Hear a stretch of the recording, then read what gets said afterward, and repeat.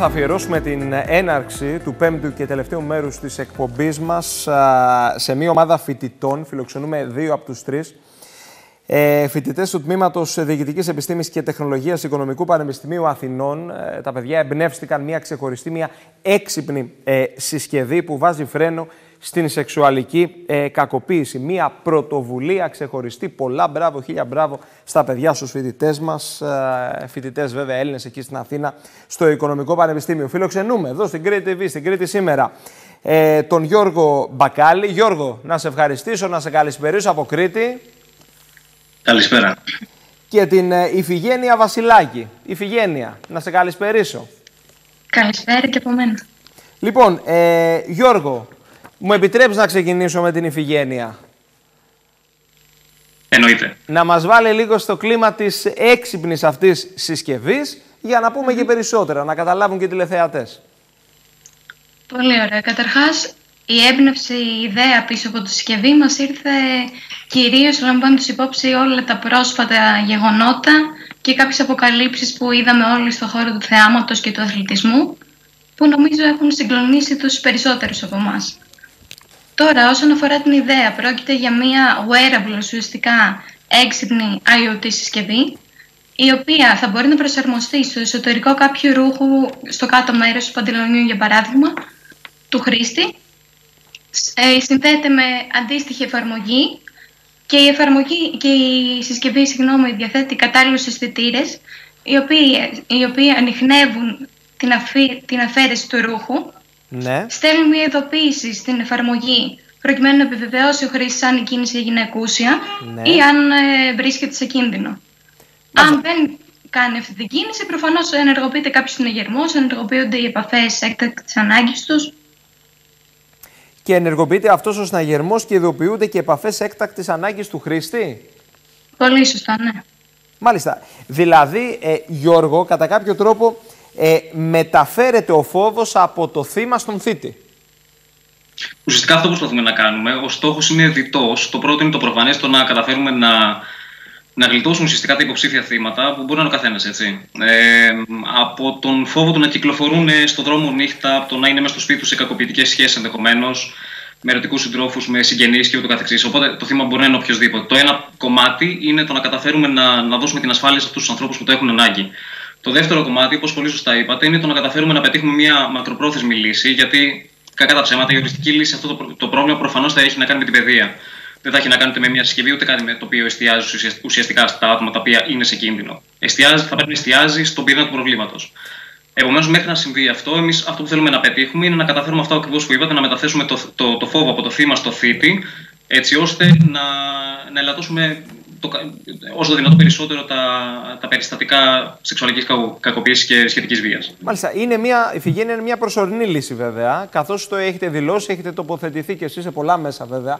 Το θέμα mm-hmm. σας και αυτή η έξυπνη συσκευή, αλήθεια είναι ότι κάνει το γύρο του, του διαδικτύου και το γύρο των μέσων σε πανελλαδικό επίπεδο. Είναι μια προσωρινή λύση, καθώς όπως λέτε και εσείς, το πρόβλημα είναι κοινωνικό και πρέπει και εμείς οι ίδιοι να βρούμε λύση.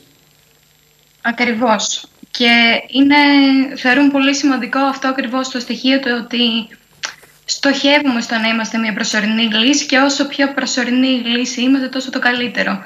Γιατί τόσο πιο γρήγορα θα έχει και η κοινωνία υπάρξει σε θέση να αντιμετωπίσει ίδιο το πρόβλημα μέσω εκπαίδευσης των ε, μελών της.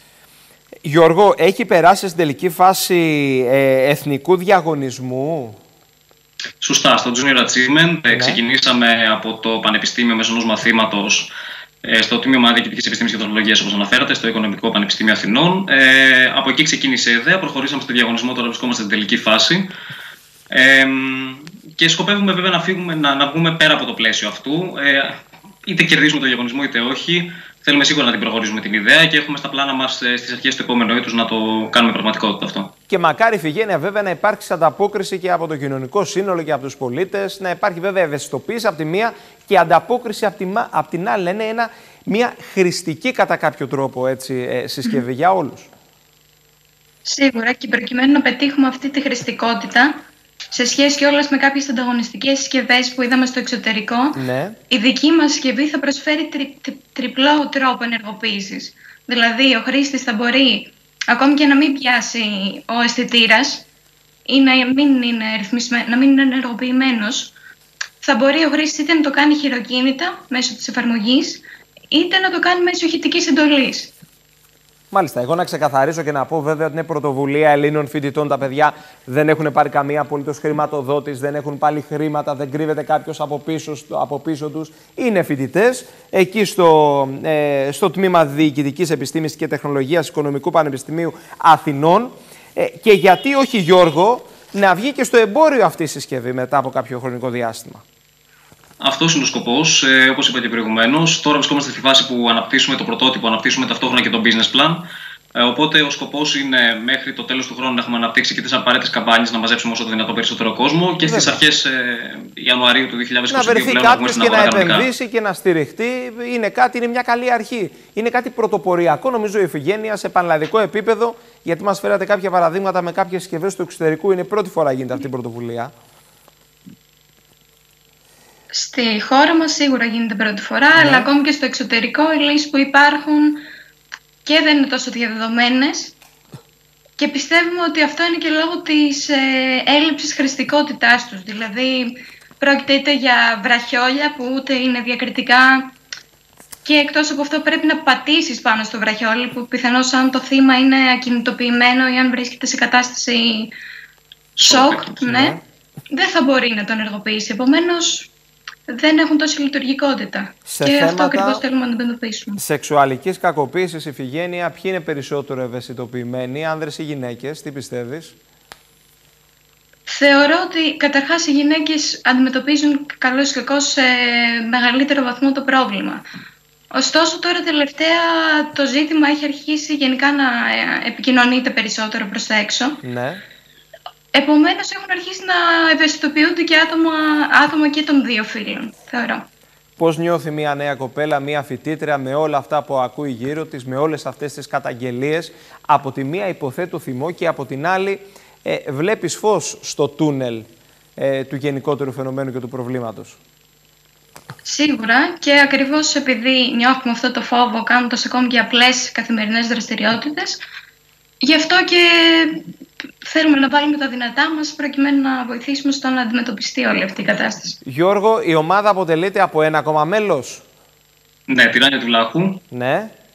Δεν είναι μαζί μας σήμερα. Δεν, δεν τα έχει καταφέρει σήμερα. Βέβαια. Αλλά ευελπιστούμε κάποια άλλη στιγμή να σας τη γνωρίσουμε. Μάλιστα. Ε, η Φιγένια δεν έχει παράπονο. Άφησε και μίλησες περισσότερο. Τζέντλεμαν, κύριος ο Γιώργος. Ναι, ναι, δεν, ναι, δεν την άφησα. Ξέρει πολύ καλά τι γίνεται. Όλοι μας στην ομάδα ε, είμαστε απαραίτητα μέλη, οπότε φυσικά. Βέβαια, βέβαια. Λοιπόν, ένα πολύ μεγάλο μπράβο. Συγχαρητήρια. Εδώ είμαστε για να δούμε, για την, για να δούμε και τη συνέχεια.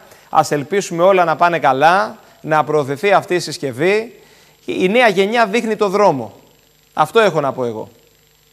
Σας ευχαριστούμε πολύ. Ευχαριστούμε πολύ και για την ευκαιρία και για τα καλά σας λόγια. Να είστε καλά. Να, είστε καλά. Συγχαρητήρια. Θα τα ξαναπούμε, το μόνο σίγουρο. Να είστε καλά. Ευχαριστούμε πολύ. Γεια σας, γεια σας, γεια σας. Λοιπόν,